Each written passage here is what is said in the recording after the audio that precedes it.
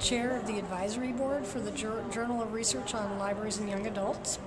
Uh, it comes out four times a year. It's a fairly new journal, uh, peer uh, reviewed, uh, the premier research journal of, uh, of YALSA.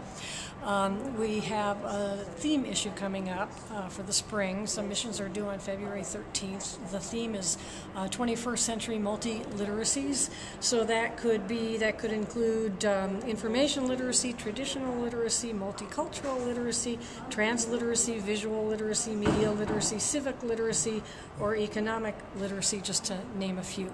Um, beyond that theme issue, because that deadline is coming up pretty quickly, um, we certainly certainly accept submissions year round. You do not have to be a member of YALSA. Uh, we're interested in hearing from all perspectives, including from allied fields, uh, so it doesn't have to be from library and information science. Um, the journal is online, it's free. You do not need a membership to read it. Uh, it has open commenting as well, and we're all pretty proud of it. Um, I think that's probably the main things I need to say about it. Uh, we'd love to have more readers and more uh, submissions.